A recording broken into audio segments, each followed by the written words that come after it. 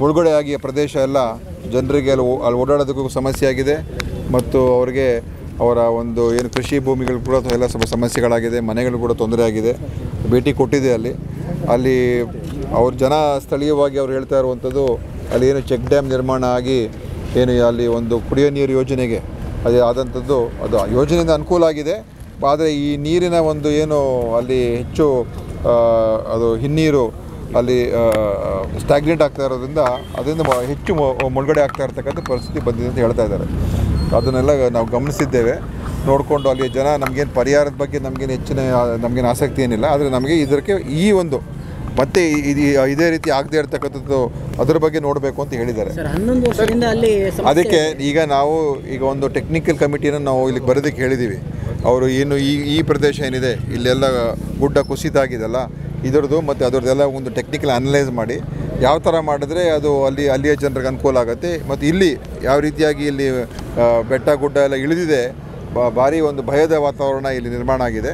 ಮತ್ತು ಇಲ್ಲಿ national highway project ಇಲ್ಲಿ ಇಲ್ಲಿ ಆಗ್ತಾ ಇರೋದ್ರಿಂದ ಬಹುಶಃ ಈ ನ್ಯಾಷನಲ್ ಹೈವೇ ಪ್ರಾಜೆಕ್ಟಿನ ಹೆಸರಿನಲ್ಲಿ ಈ ಸಾಕಷ್ಟು ಇಲ್ಲಿಯ ಒಂದು ಮಣ್ಣಿನ ಒಂದು ಏನು ಇಲ್ಲಿ ಗಣಿಗಾರಿಕೆ ಮಾಡಿ ಇಲ್ಲಿ ಅವ್ಯಾತವಾಗಿ ಇದನ್ನೆಲ್ಲವನ್ನು ಒಂದು ಇಲ್ಲಿ ಅವರು ಮೈನಿಂಗ್ ಮಾಡಿದ್ದಾರೆ. ಖಂಡಿತ ಇದು ಭಾಳ ದೊಡ್ಡ ಲೋಪದೋಷ ಆಗಿದೆ. ಮೇಲ್ನೋಟಕ್ಕಂತೂ ಲೋಪದೋಷ ಆಗಿದೆ. ಅದಕ್ಕೇ ಈಗ ನಮ್ಮ ಜಿಲ್ಲಾಡಳಿತಗೆ ಇದು ಫೆಬ್ರವರಿ ತಿಂಗಳಲ್ಲಿ ಅವರು, ಅವರ ಅವರ ಗಮನಕ್ಕೆ ಕೂಡ ಬಂದಿತ್ತು.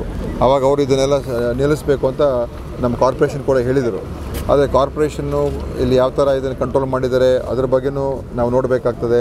ಮತ್ತು ನಮ್ಮ ಗಣಿ ಭೂ ಮತ್ತು ಗಣಿ ವಿಜ್ಞಾನ ಇಲಾಖೆ, ಅವರು ಯಾವ ರೀತಿಯಾಗಿ ಇದನ್ನು ಅವರು ಕಂಡು, ಯಾಕೆ ಈ ರೀತಿಯಾಗಿ ಬಿಟ್ಟಿದ್ದಾರೆ ಒಂದು ಬೆಟ್ಟ ಗುಡ್ಡದಲ್ಲಿ ಮಣ್ಣನ್ನು ಎತ್ಕೊಂಡು ಹೋಗೋದಕ್ಕೆ ಯಾವ ರೀತಿ ಬಿಟ್ಟಿದ್ದಾರೆ ಅದ್ರ ಬಗ್ಗೆನೂ ಕೂಡ ಉನ್ನತ ಮಟ್ಟದ ತನಿಖೆಯನ್ನು ಮಾಡೋದಕ್ಕೆ ನಾನೀಗ ಆದೇಶ ಮಾಡ್ತೀನಿ. ಯಾವ ಹಂತದಲ್ಲಿ ಯಾರು ಮಾಡಬೇಕು ಅಂತ ನಾವು ಅದ್ರ ಬಗ್ಗೆ ನಾನು ಖಂಡಿತವಾಗಿ ಆದೇಶ ಮಾಡಿಸ್ತೀನಿ.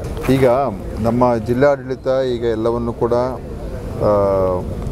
ಕಳೆದ ಈ ಮಳೆಗಾಲ ಪ್ರಾರಂಭ ಆದ ಆದಾಗಿಂದ ಭಾಳ ಯಶಸ್ವಿ ಕೆಲಸ ಮಾಡ್ತಾ ಇದ್ದಾರೆ. ಎಲ್ಲ ಕಡೆ ಓಡಾಡ್ತಾ ಇದ್ದಾರೆ. ಏನೇನು ಸರ್ಕಾರದಿಂದ ನಾವು ಮಾಡೋಕ್ಕೆ ಸಾಧ್ಯ ಆಗುತ್ತೆ ಜಿಲ್ಲಾ ಆಡಳಿತದಿಂದ ಏನೇನು ಮಾಡೋಕ್ಕೆ ಸಾಧ್ಯ ಆಗುತ್ತೆ ಎಲ್ಲವನ್ನು ಕೂಡ ಚೆನ್ನಾಗಿ ಅಧಿಕಾರಿಗಳು ಕೆಲಸ ಮಾಡ್ತಾ ಇದ್ದಾರೆ. ಅದು ಅದರ ಬಗ್ಗೆ ನಮಗೆ ಆ, ವಿಚಾರದಲ್ಲಿ ನಮಗೇನು ಏನು ಕಂಪ್ಲೇಂಟ್ಸ್ ಇಲ್ಲ. ಆದರೆ ಈ ಥರ ಪರಿಹಾರಗಳು ಮತ್ತು ಈ ರೀತಿಯಾದಂಥ ಏನು ಈಗ ಏನು ಐಡೆಂಟಿಫೈ ಮಾಡಿದ್ದಾರೆ ಅದಕ್ಕೆ ಅದು ಯಾವ ರೀತಿಯಾಗಿ ಸಾಲ್ವ್ ಮಾಡಬೇಕು ಅದನ್ನೆಲ್ಲ ಅವ್ರು ನೋಡ್ತಾ ಇದ್ದಾರೆ.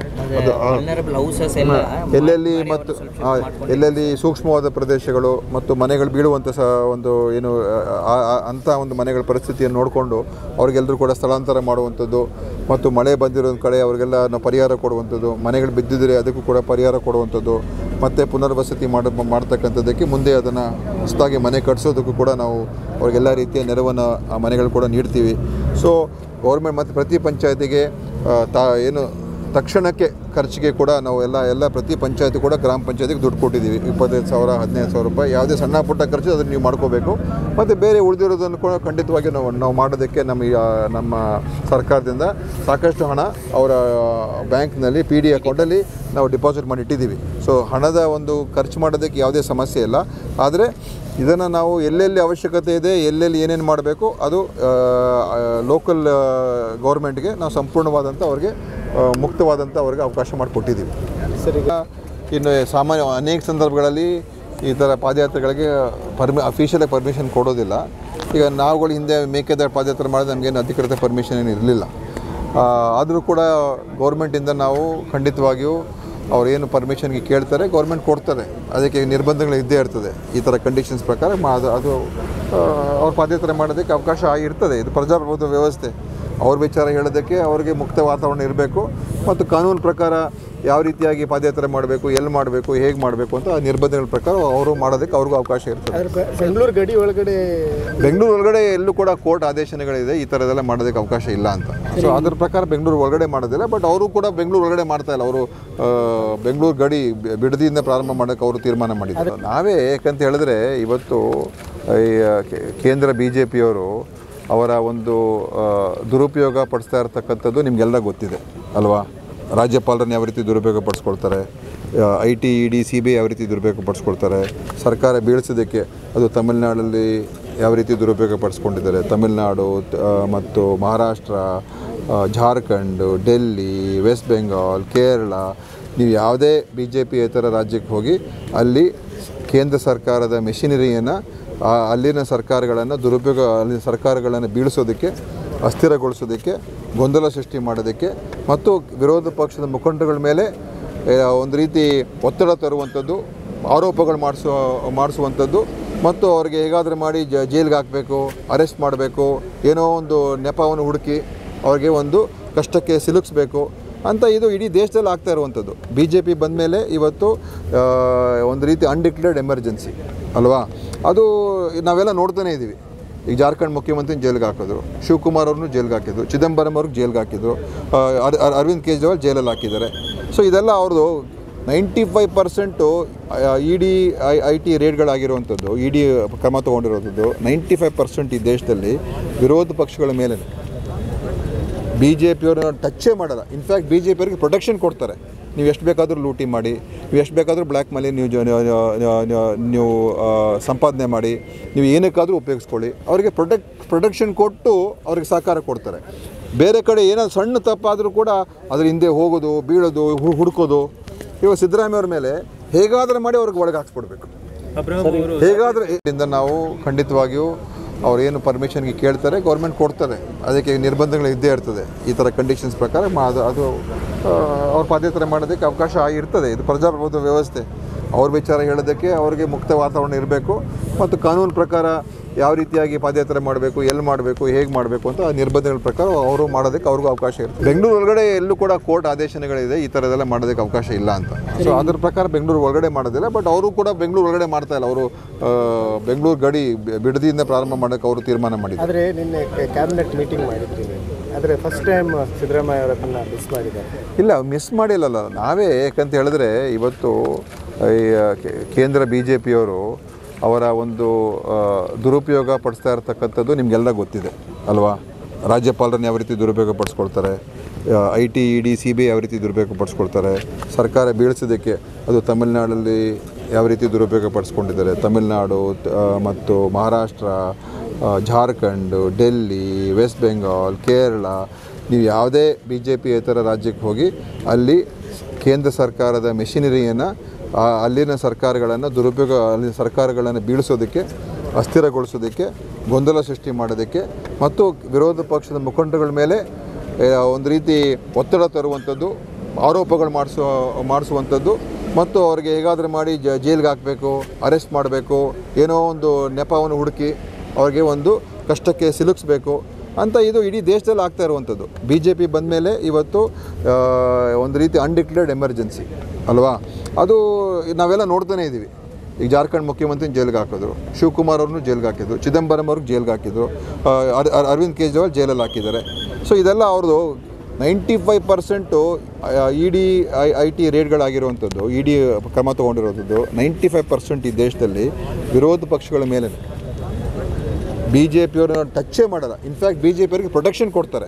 ನೀವು ಎಷ್ಟು ಬೇಕಾದರೂ ಲೂಟಿ ಮಾಡಿ, ನೀವು ಎಷ್ಟು ಬೇಕಾದರೂ ಬ್ಲ್ಯಾಕ್ ಮನಿ ನೀವು ನೀವು ಸಂಪಾದನೆ ಮಾಡಿ, ನೀವು ಏನಕ್ಕಾದರೂ ಉಪಯೋಗಿಸ್ಕೊಳ್ಳಿ. ಅವರಿಗೆ ಪ್ರೊಟೆಕ್ ಪ್ರೊಟೆಕ್ಷನ್ ಕೊಟ್ಟು ಅವ್ರಿಗೆ ಸಹಕಾರ ಕೊಡ್ತಾರೆ.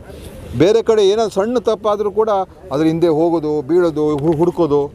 ಇವಾಗ ಸಿದ್ದರಾಮಯ್ಯ ಅವ್ರ ಮೇಲೆ ಹೇಗಾದರೂ ಮಾಡಿ ಅವ್ರಿಗೆ ಒಳಗೆ ಹಾಕ್ಸ್ಬಿಡ್ಬೇಕು ಹೇಗಾದರೂ ಅದೇ ಅಬ್ರಾಹಿಂ ಅವರು ಅವರು ಅವ್ರ ಅಬ್ರಾಹಿಮಿನ ಬ್ಯಾಕ್ಗ್ರೌಂಡ್ ನಿಮಗೆಲ್ಲ ಗೊತ್ತೇ ಇದೆ. ಸುಪ್ರೀಂ ಕೋರ್ಟ್ ಕೂಡ ಇಪ್ಪತ್ತು ಲಕ್ಷ ರೂಪಾಯಿ ದಂಡನೆ ಹಾಕಿತ್ತು ಅವ್ರ ಮೇಲೆ. ಅದೇನೇ ಇರಲಿ ಹೌದು. ಅವರು ಒಂದು ಕಂಪ್ಲೇಂಟ್ ಕೊಟ್ಟಿದ್ದಾರೆ. ಸರ್ ಈಗ ಕಂಪ್ಲೇಂಟ್ ಕೊಟ್ಟ ಮೇಲೆ ಈಗ ರಾಜ್ಯಪಾಲರಿಗೆ ಹೋಗಿ ಸ್ಯಾಂಕ್ಷನ್ ಕೊಡಿ ಅಂತ ಹೇಳಿದ್ರೆ ರಾಜ್ಯಪಾಲರು within hours within few hours ಯಾವುದೇ ರಾಜ್ಯಪಾಲ ಇಂಥ ಬಂದಾಗ ಚೆಕ್ ಮಾಡ್ತಾರೆ. ಏನಪ್ಪ ಇದು ಈ ಕೇಸಲ್ಲಿ ಏನಾದರೂ ನಿಜವಾಗ್ಲೂ ಇದೆಯಾ? ಅವರೇನೋ ಅಧಿ ಅಧಿಕಾರ ದುರುಪಯೋಗ ಪಡಿಸ್ಕೊಂಡಿದ್ದಾರಾ ಸಿ ಎಂ ಅವರು? ಅಂತ ನೋಡ್ಬಿಟ್ಟು ತಿಳ್ಕೊಂಡು ಎ ಜಿ ಒಪಿನಿಯನ್ನು ಅಥವಾ ಅಟಾರ್ನಿ ಜನರಲ್ನ ಕರೆಸಿ, ಮಾತನಾಡಿಸಿ, ಸ್ವಲ್ಪ ಸಮಯ ತೊಗೊಳ್ಳಿ. ಇದನ್ನು within few hours hundred page ಡಾಕ್ಯುಮೆಂಟ್ನ ಓದ್ಬಿಟ್ಟು ಸಿ ಎಂ ಅವರಿಗೆ ಶೋಕಾಸ್ ನೋಟಿಸ್ ಕೊಟ್ಟರೆ ಏನು ತೋರಿಸುತ್ತಿದ್ದು ಏನು ತೋರಿಸು ಅಂತ ಹೇಳಿದ್ರೆ, ಅದೇ ಒಂದು ಏನು ಸ್ಟ್ಯಾಂಡರ್ಡ್ ಆಪ್ರೇಟಿಂಗ್ ಪ್ರೊಸೀಜರ್ ಇದೆ ಬಿ ಜೆ ಪಿದು ಅದೇ ಇವತ್ತಿನ ದಿವಸ ಬಿ ಜೆ ಪಿಯ ಒಂದು ಕೈಗೊಂಬೆಯಾಗಿ ರಾಜ್ಯಪಾಲರು ಕೆಲಸ ಮಾಡ್ತಾ ಇದ್ದಾರೆ. ನಿರ್ಣಯ ಮಾಡಿ ರಾಜ್ಯಭವನಕ್ಕೆ ಕಳಿಸ್ತಿದ್ದೀವಿ ಹೌದು ಹೌದೌದು ಮಾನ್ಯ ಮಾಡುತ್ತೆ ಅಂತ ಅನ್ಸುತ್ತೆ ನೋಡಿ ಅದು ಕಾನೂನು ಪ್ರಕಾರ ಹೋದರೆ ಅವ್ರು ಮಾನ್ಯ ಮಾ ಅದು ಇದಕ್ಕೆ ಪ್ರಾಸಿಕ್ಯೂಷನ್ ಮಾಡೋದಕ್ಕೆ ಅವಕಾಶ ಇಲ್ಲ. ಯಾಕಂದರೆ ಸಿದ್ದರಾಮಯ್ಯ ಅವರು ಎಲ್ಲಿ ತಪ್ಪು ಮಾಡಿದರೆ ಏನು ತಪ್ಪು ಮಾಡಿದರೆ ಇದು ಇದುವರೆಗೂ ಕೂಡ ಎಲ್ಲೂ ಇಲ್ಲ. ಸುಮ್ಮನೆ ಯಾರೋ ಆರೋಪ ಅದು ಮುಖ್ಯ ಅಲ್ಲ. ನಾನು ಬೇಕಾದ್ರೆ ಯಾರ ಮೇಲೆ ಆರೋಪ ಮಾಡ್ತೀನಿ. ಇವತ್ತು ಕೂಡ ಬಿ ಜೆ ಪಿಯವರಾಗಲಿ ಜನತಾದಳದವರಾಗಲಿ ಸಿದ್ದರಾಮಯ್ಯವ್ರು ಏನು ತಪ್ಪು ಮಾಡಿದ್ರು? ಯಾ ಅದೇ ಏನು ಏನು ತಪ್ಪು ಮಾಡಿದ್ದಾರೆ? ಅವರು ಭೂಮಿ ಕಳ್ಕೊಂಡಿದ್ದಾರೆ. ಭೂಮಿಯನ್ನು ಅನಧಿಕೃತವಾಗಿ ಮೂಡ ಅವರು ಅದನ್ನು ಎನ್ಕ್ರೋಚ್ ಮಾಡಿ ಸೈಟ್ಗಳು ಮಾಡಿಬಿಟ್ರು.